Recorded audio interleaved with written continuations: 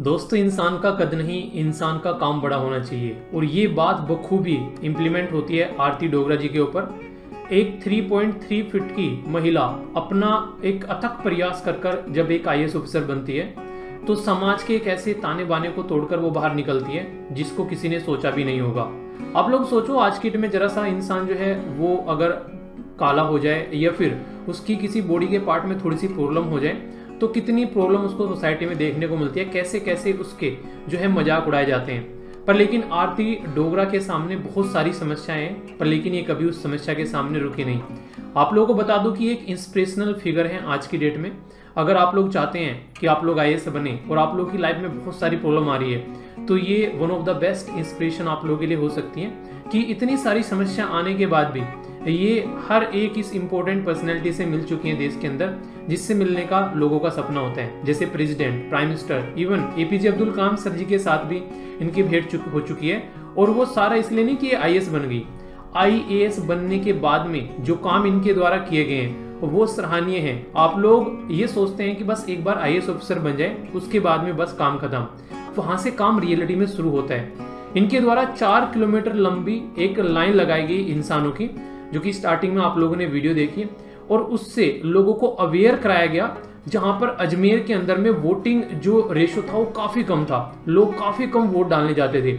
इसने लोगों को इंस्पायर किया एक ह्यूमन चैन बनाकर, जिसकी वजह से लोगों ने वोट डालना स्टार्ट किया। इसी के साथ में स्वच्छ भारत मिशन को लेकर इनकी जो मुहिम थी, उसके लिए भी काफ़ी सारी इनकी सराहना की गई, क्योंकि अक्सर लोग जो हैं जानते तो हैं कि ये चीज़ें हैं, पर लेकिन रियलिटी में उसको इम्प्लीमेंट नहीं कर पाते हैं। आप लोगों ने देखा होगा पुराने टाइम पे कई बार ये बातें बोलते थे कि शौचालय है घर में, पर उसको यूज़ नहीं करेंगे, बाहर जाएँगे।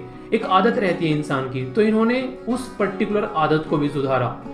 दोस्तों, अगर बात करूँ इनके जन्म के बारे में तो उत्तराखंड के देहरादून में इनका जन्म हुआ। 3.5 फीट इनकी लंबाई और इनके फादर साहब कर्नल और माँ, जो कि एक स्कूल प्रिंसिपल थी। मैं आप लोगों को बताऊँ, आज की डेट में अगर कोई बच्चा पैदा होता है तो बहुत सारे नाक नक्शे इसमें निकालने लगते हैं और सोसाइटी में दूसरे बच्चों के साथ में कंपेयर करने लगते हैं। तो सबसे पहले तो माँ बाप परेशान रहते हैं कि यार बच्चा कैसा हो गया, ठीक है? तो बच्चों को लेकर काफ़ी टेंशन में आ जाते हैं कई सारे माँ बाप तो सबसे बड़ी बात तो यह कि इनके जो मदर और फादर हैं, उनके द्वारा भी कोई ऐसी अपने मन में भावना नहीं लाएगी। तो उसके चलते इनको हर एक लेवल पर सपोर्ट किया।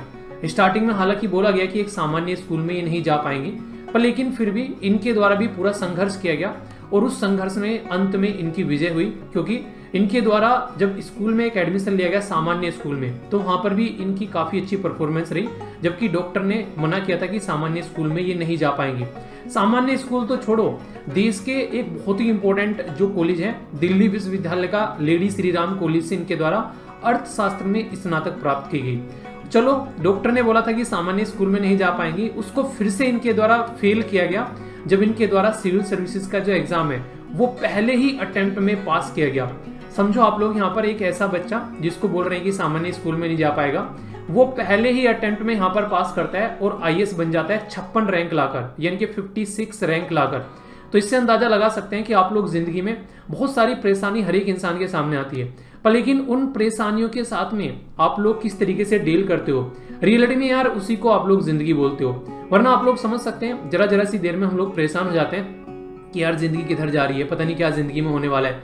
उस इंसान के बारे में सोचो एक मिनट के लिए, जो इंसान जो है हर वक्त अपनी ज़िंदगी में एक चुनौती फेस कर रहा है और वो उसको पार करते करते आगे बढ़ रहा है। तो ये काफ़ी बड़ी इंस्पिरेशन आप लोग यहाँ पर बोल सकते हैं और इनका अकेला ऐसा लोता उदाहरण नहीं है। आप लोग एक और ऐसी पर्सनैलिटी को जानते हैं जिनका नाम है ईरा सिंघल। उनके द्वारा तो फ़र्स्ट रैंक लेकर आया गया।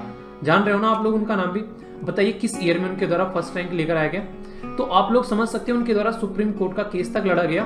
बॉडी में जो भी प्रॉब्लम थी उसको लेकर, जिसके चलते उनको पोस्ट नहीं मिल पा रही थी तो उसके साथ में इंसान पढ़ भी रहा है। तो ये होती है वास्तव में किसी काम को लेकर ललक, और जिस इंसान के मन में एक ऐसी ललक जग गई, यार उस इंसान को कोई रोक पाएगा क्या? आप लोग खुद सोचिए।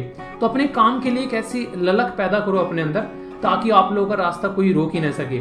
और आज के टाइम में अगर बात करें तो ये डीएम है, अजमेर की कलेक्टर है आज की डेट में। पहले यहाँ पर अजमेर के अंदर में एसडीएम की पद पर रही, और आज की डेट में ये अजमेर के अंदर डीएम के तौर पर यहाँ पर अपना कार्यभार संभाले हुए हैं। और वहाँ पर काफ़ी सारे ऐसी इंपॉर्टेंट स्कीम इंप्लीमेंट कर रही हैं, जो कि सोसाइटी में ग्राउंड लेवल पर लोगों को फ़ायदा पहुँचा रही है। जिसके चलते इनको काफ़ी ज़्यादा अप्रिशिएट किया जा रहा है हर एक फ़ील्ड में। जैसे कि मैंने अभी बताया आप लोगों को कि इलेक्शन में अवेयरनेस का प्रोग्राम स्वच्छ भारत मिशन के बारे में, बच्चों की एजुकेशन के बारे में, महिलाओं की सुरक्षा के बारे में, हर एक लेवल पर शानदार तरीके से इनके द्वारा काम किया जा रहा है। तो यार अगर ज़िंदगी में आप लोग किसी भी किसी भी ऐसे गोल के लिए सोच रहे हो कि ज़िंदगी में इस गोल पर हम लोग को जाना है तो एक चीज़ हमेशा ध्यान रखो यार ज़िंदगी में कि आप लोग उसको जिस दिन अचीव कर लोगे ना तो आप लोगों के अंदर जो खुशी होगी, उसका कोई और सानी नहीं है, किसी और चीज़ के साथ में कंपेयर नहीं कर सकते आप लोग। तो इसलिए ज़िंदगी में गोल बनाकर उसके पीछे लग जाइए।